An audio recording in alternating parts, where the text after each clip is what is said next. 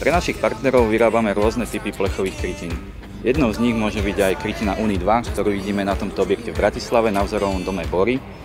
Jedná sa o krytinu Uni 2 v prevedení farebný pozing antracit matný. V rovnakom prevedení je aj odklapový systém. just begun. Yeah, the best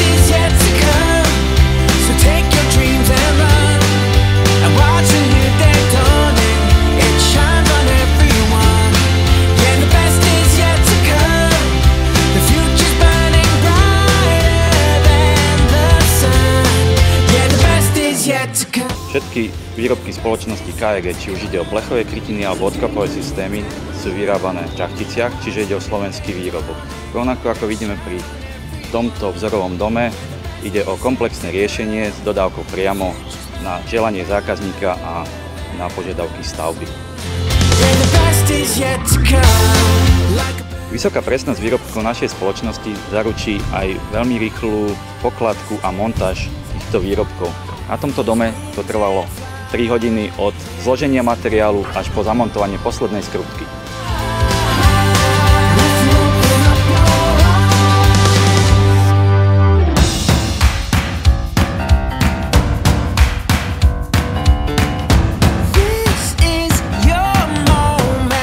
What you waiting for?